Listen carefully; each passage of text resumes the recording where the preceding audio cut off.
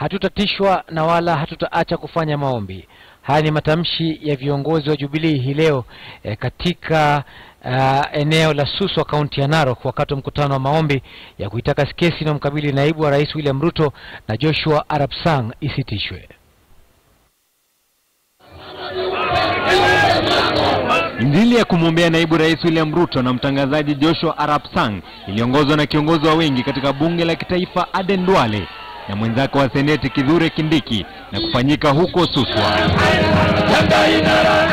Hoja yao kuu ni kwamba hawataruhusu kushurutishwa na mahakama ya kitaifa ya ICC kwa vyovyote vile. na sisi tunaambia ICC haiwezi kutunyamazisha. They cannot gaga, they cannot silence us. Umeona maombi imesaidia. Tunataka wale wengine, sisi tunataka maombi na ndugu yetu Ruto na Sang wawachiliwe. Kilomita nyingi kutoka Suswa huko Eldoret, wakuruba wa kisiasa wa William Ruto walikuwa wakiogelea katika bahari hiyo ya ICC. Mwenyekiti wa kamati ya masala ya sheria bungeni Samuel Chepkonga akiongoza viongozi wengine kutaka mahakama ya ICC ifutilie mbali kesi hiyo.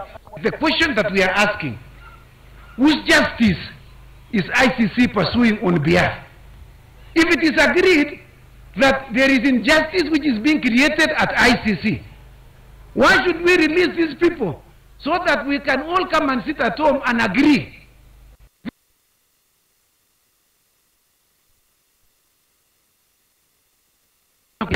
There's nothing like seeking justice at the expense of the other person. Seeking justice by creating victims.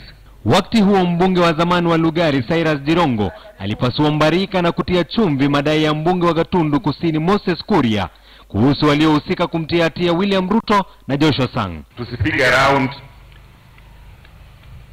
mambo ambayo imeweka mheshimiwa Ruto hek yako na intelligence na yako na mambo ya serikali na rais wa nchi hakuna jambo ambalo hawezi fikia.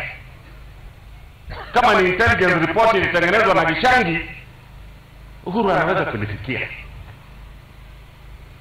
kama tuko na historia nyingine ilitengenezwa na watu ambao walikuwa kwa serikali anaweza kuifikia.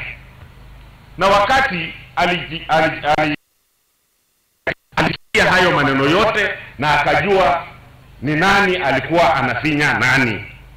Yeye akatumia hiyo report amejitoa huko Suala la ICC limezua mtafaruku wa kisiasa tangu Moses Kuria kudai na kuwataja waliohusika kwenye kesi hiyo, huku baadhi ya wabunge wa chama cha William Ruto wakimtaja kuwa msaliti. Jeff Kirui, KTN leo wikendi.